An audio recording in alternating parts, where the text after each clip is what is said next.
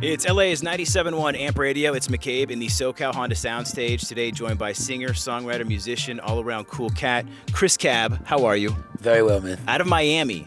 Yes, sir. You made it to Los Angeles. You brought kind of some of the, the weather with you. I mean, I don't think this is the Miami This is, weather. this is not the Miami weather. Um, you were showing me some photos. I mean, Miami is just beautiful. You grew up there. Um, I mean, growing up, what was what was the vibe like in the town, and then also music for you? Well, Miami's a like a huge melting pot of culture. There's so many different cultures there. I'm I'm of Cuban descent, but you know, there's people from all over the world. A lot of Hispanics, a lot of Europeans. So the flavor is just out of control. You know, it's like a I don't know. It's like a big like gumbo. You know. Uh-huh. So that's kind of what the music's like. A lot of Latin music, and uh, I guess that's why it was kind of cool because the timing right now with everything. You know, Oh, totally. lining up. Uh, and I mean, so growing up in your household, were, were your parents musicians? Um, was it No. something you just kind of picked up on your own? You're like, okay, this is what I want to do. Yeah, yeah, kind of something I picked up on my own. My mom was pretty much tone deaf. You know, she likes to drive in silence, that kind of thing. Okay. but um, yeah, I kind of just picked up the guitar when I was nine and, and taught myself and ended up writing and, and recording and everything. when did you kind of know that this was the direction you wanted to go? I think is when I, I started joining like uh, garage bands in elementary school, and Okay. I think like when we played our first party and everything, I felt like yeah, this is this is cool. I like this. Did you always have sort of the uh, uh, the, the Latin route? I mean, did, were, were you in like a rock band? Were uh, did you have other influences kind of growing up? Um, well, I listened to a lot of uh, reggae growing up.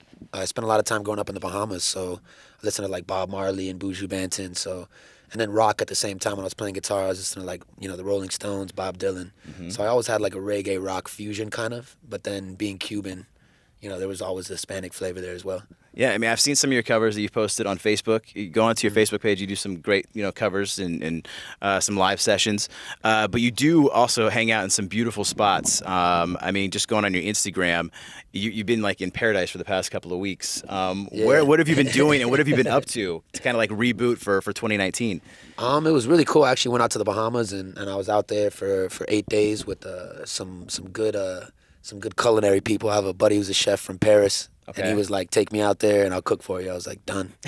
so You were you were like actually catching some some food like straight from the sea. yeah, Uh, type of stuff. Like, i- i- do you do that normally? Is that is that Yeah. something you're kind of into? all the time, man. Uh, my father was a big fisherman. You know, loved fishing, and then right behind, you know, where I go in the Bahamas, there's lobster. Literally, you pick them out of the sea. Wow. So grab them, throw them on the grill. We may have to get you out here. We'll go to Marina Del Rey. We'll get some. I some heard about fishing that. out there as well. We can bring your chef out and do some cooking. out That's here. right, Pierre. Where you at? Pierre, get down here. Get to on, LA. um, but now for 2019, uh, let's talk about "Just Want to Love You" and teaming up with J Balvin. The song uh, is is fire. It's so good. And was was he someone that you had thought of initially for the record? Not initially. Um, I had made the record, and I'd become friends with Jay maybe like four or five years ago um, through Pharrell, who's my mentor. He was like, "Yo, pay attention to Jay. He's gonna take off."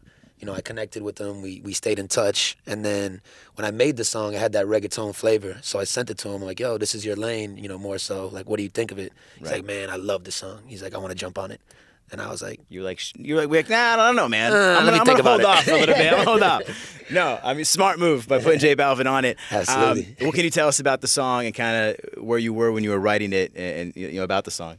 Um, I think at the time I was with uh, I was in a my last relationship. I was with the with my ex, and um, I I was kind of we were just kind of going through it, and I was just like, "Yo, let's not make this so complicated. Why don't we just, you know, why don't we just let love do its thing?" And she was like, "No, I want to be crazy," and I was like, "Okay, so let's just do that."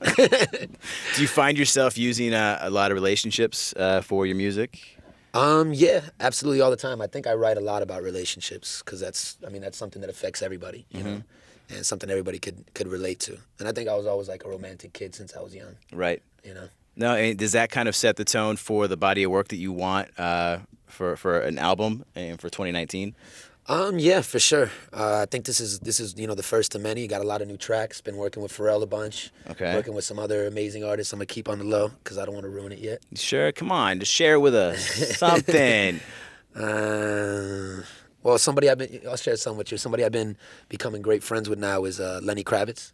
oh, okay, wow. So I think I'm gonna I think we're we're working on something together too. So that could be really cool. Dude, that would be amazing. Rock, reggae, Oh, yeah. fusion. dude. And then having, I mean, having Pharrell as a mentor um, and getting to work with all these musicians, um, you know, what, what does he bring to the table for you and, and having him as a mentor? Um, so much, man. Pharrell's so cool. He's he's like a big brother. I mean, even out here in LA, when I've gone to, to spots like the Sayers Club to perform, and I've told him, shot him a text, yo, I'm gonna play our new song tonight. He's like, I'm there. Dude. Showed up, jumped on stage with me, gave me the whole, you know, this is the kid speech. Mm-hmm. so he's Is- he's super cool. Has man. there been like one sort of like word of advice that he's mm-hmm. kind of given that has always stayed true to you and you've kind of always taken with you? I think just from watching him, one of the coolest things I see about Pharrell is that he's such a hard worker, and this is somebody who does like three or four songs a day, not just one. This guy does so much and throws so many different sounds against the wall that that's why he always wins. You know, he's just constantly working and constantly trying to listen to what the world wants to hear at the time. He like really, really good at listening to like what the people want. Well, I think you are too, and you know you're in the studio constantly right now and, and working. And I think I saw another uh, piece with silence. Is that something I Ooh, had that, seen? that that was something I was working so on is that other something you're working on as well? Are you kind of constantly in the studio and, and, and working on material? all the time, every day. That's the only way to, to figure it out, you know. Uh huh. because you know it's it's like you're every time you're you're making a song, it's like being in the kitchen. Add a little of this, add a little of that. Right, right. So every day you're cooking something and just seeing what the different flavors add up to. And what can we expect for 2019? A tour? Uh, yeah, you want to get there and perform? And you know, what do you want to do? Definitely looking to, to get out and perform. I, you know, performing something I love doing. Love playing guitar. Love singing live and connecting with the fans. So, be doing that. Going to be promoting a lot of new music, a lot of new visuals.